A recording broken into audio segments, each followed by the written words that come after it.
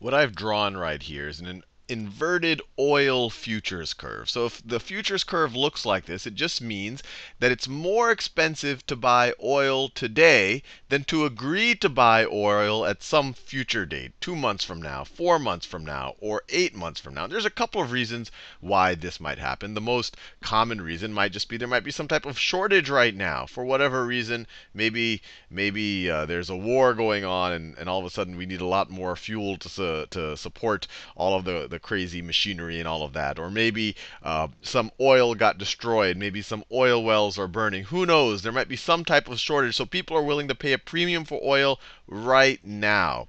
The other reason why you might have an inverted oil's future curve, and this will actually uh, gel a little bit more with um, kind of what we're going to talk about in this video, is that people expect the price of oil in the future to not be that different than the price of oil today. If you were to go out there and survey everyone who might be a seller or buyer of oil in the world, which is obviously not possible, but if you were to ask them, what is the expected price of oil in eight months? They might say, hey, okay, we might even have a little shortage right now, but we expect the price of oil to be $100. And so you might say, wait, if everyone expects if everyone expects the price of oil to be $100, why are there some people in the futures markets today who are agreeing to sell the oil for $50? They're agreeing to sell it below the expected price. And the reason why they might be willing to, maybe they're oil producers and oil is such a volatile price, and because they are dependent on the oil revenues to support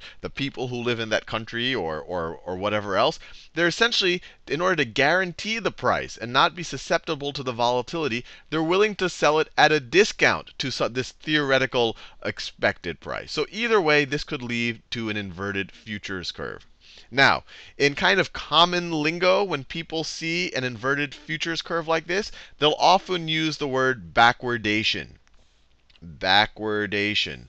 They'll say that the future that this futures market is in backwardation. So backwardation.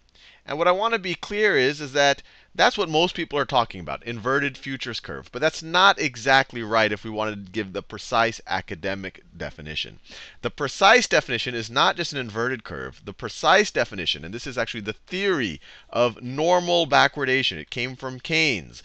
And that is, is that the sellers are willing to sell in the future at a discount to the expected price because of the volatility so that they can lock in their price. So the theory of normal backwardation is actually this phenomenon right here. But this is actually not observable because you can't go and survey everyone and figure out what the actual expected price is. And you can see that they're often one and the same. The expected price was here. You had an inver inverted futures curve. That's why they called this curve or this market in backwardation. The one way that you can kind of observe it is if you see, so over here, this is our spot price. This is our spot price. And now we're moving over time. And you can see the spot price isn't changing much. And because it's not changing much, this cheaper futures price, as we move closer and closer to its delivery date, it has to converge with the spot price. As this one right over here, it starts at $75. As you go further and further in time, it has to converge to the spot price.